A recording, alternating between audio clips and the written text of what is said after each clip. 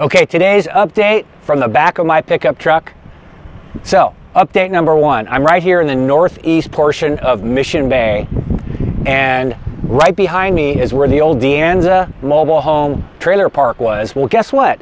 They have finally, after decades of back and forth, they have finally taken all those mobile homes off, and I'm going to give you a quick look here, starting with the De Anza mobile home clubhouse and then you can see, hopefully, they're all gone. And so that leads to the second part of my update, and that is the city of San Diego and the mayor just put out their most recent plans of what they want to do with this entire area. And when I mean area, this is over 500 acres in the northeast portion of Mission Bay that includes this 75 acre parcel where the trailers were, campland by the bay, the Mission Bay golf course, the Pacific Beach Tennis Center, several playing fields, the Mission Bay Boat and Ski Club.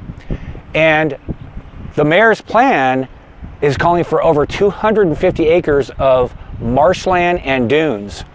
Unfortunately, part of that plan is calling to shrink down from 200 plus acres for recreation down to about 130 acres of recreation.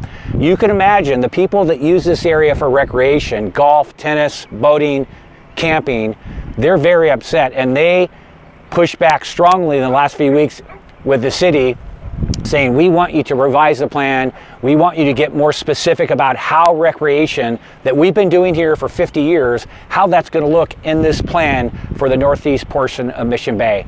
Next steps are late august the city planners are going to meet to discuss a plan that they can take to the city council and then this fall, the city council would really, in essence, just look at the plan, say, this is the plan we'd like to move forward with. It would take several years to get that plan approved. Ultimately, the, the California Coastal Commission would also have to approve that plan. So there's a lot going on. The first big part of the puzzle that finally happened was all these trailers finally were taken off the De Anza Cove uh, area. So want to know what you think. What should the city do with this area? It's a battle between people that want open space and marshland and environmentalists and people that want to use this to recreate. I like the recreation side. I like a combo, but I'd love to know what you think. I hope this has been helpful. This is Brad Hobson and I'm around San Diego.